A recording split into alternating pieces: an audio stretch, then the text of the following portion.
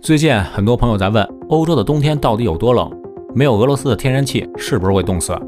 这个问法本身就有毛病。首先，咱们得先普及个地理知识：同样的纬度，欧洲要比中国更暖和一些。比如英国伦敦，虽然比哈尔滨更靠北，但人家冬天的平均温度却要比咱们高出个好几度。北欧的情况也差不多，虽然不是西伯利亚那样地狱级别的生存难度，但你要是大晚上走个肾，也会滴尿成冰。所以啊，这个问题的本身是不成立的。欧洲老百姓没有俄罗斯的天然气，不一定会冻死，但如果没有取暖的能源，一定会。俄罗斯天然气的本质其实是个成本问题，说白了就是烧俄气比烧煤烧木头更便宜。欧洲不是没有替代能源，而是替代成本太高了。失去廉价的俄罗斯能源，欧洲的好日子也就到头了。大家都知道。自二战以来，欧洲的能源消费主要靠进口。二零一九年，欧盟消耗的能源百分之六十一靠进口，自己只能生产百分之三十九。能源结构主要包括百分之三十六的石油产品，百分之二十二的天然气，百分之十五的可再生能源和百分之十三的固体化石燃料。在欧盟的进口能源中，石油产品占了三分之二，天然气占了百分之二十七，固体化石燃料也就是煤炭占了百分之六。而俄罗斯是这三种能源的最大供应国，另一个是挪威。俄罗斯的天然气占到欧盟天然气总进口量的百分之四十一点一，挪威占到了百分之十六点二，其余的则来自北非的阿尔及利亚和中东的卡塔尔。欧盟进口的原油中，百分之二十九点六来自俄罗斯，其余的来自中东、北非和中亚。欧盟对进口能源的依赖度达到了百分之六十以上，对俄罗斯石油、天然气、煤炭的依赖分别是百分之四十、百分之三十和百分之二十。很多人看到这个数据就下结论，认为整个欧洲都离不开俄罗斯。这就好比啊，你看过二手乐器的演唱会，就觉得东北人唱歌都跟唱二人转一样，等于一棍子掀翻了一船人。欧盟虽然名义上是一个经济整体，但你可别忘了，人家组织里可是塞进了二十七个成员国，这里面有工业强国，也有打工的小弟，有洗钱的金融老炮，也有躺平的爱与正义的使者。他们对进口能源的依赖程度也完全不一样。比如像卢森堡、塞浦路斯这样的小国，人口面积和咱们县城差不多，虽然百分之九十以上的能源靠进口补给。但进口总量那是少得可怜。东欧和南欧的能源进口比例也比较高，像德国、荷兰、意大利、比利时都超过了百分之六十。但大家注意哈，这里面只有德国离不开俄罗斯，其他国家进口能源的渠道那是五花八门，俄罗斯能源只是其中之一。北欧的情况就完全不一样了，挪威本身就是能源净出口国，瑞典的可再生能源使用率达到了百分之四十，核能贡献了百分之三十，能源缺口主要仰仗旁边的挪威。而法国虽然在能耗上仅次于德国，但人家核电水平超级强，不但是仅次于美国的第二核能生产国，还是电力的净出口国。法国电力的百分之七十六来自核能，其次是水力发电，石油和天然气只占发电总量的百分之九。而且啊，法国常年在非洲布局，特别是油气资源丰富的北非。除此之外，还从中亚、中东和北美买油。俄罗斯的石油产品只占法国能源进口的百分之十八。法国的天然气主要靠挪威，其次才是俄罗斯和阿尔及利亚。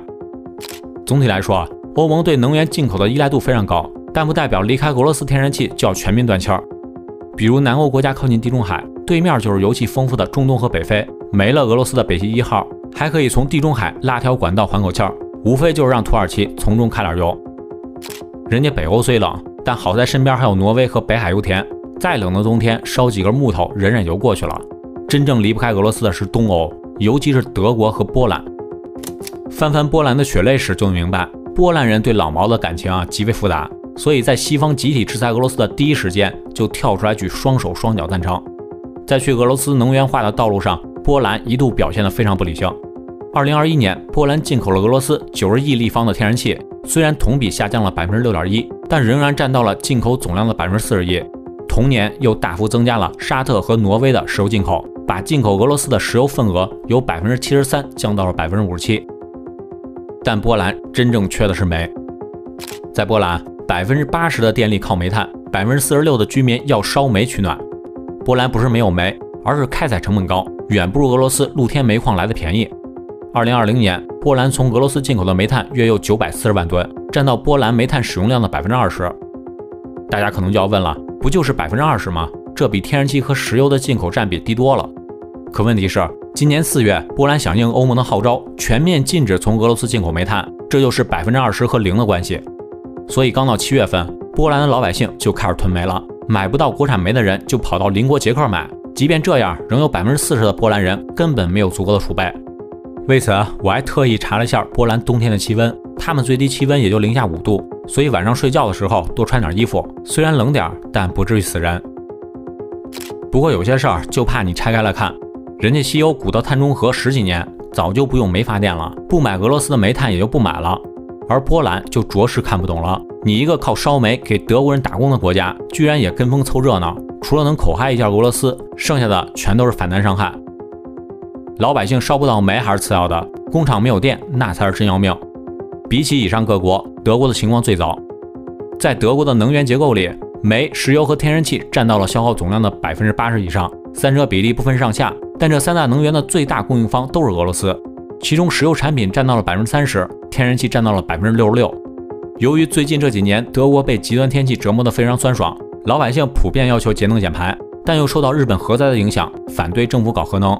所以，德国政府在过去的十年，一边减少煤炭发电，一边加大进口天然气和可再生能源。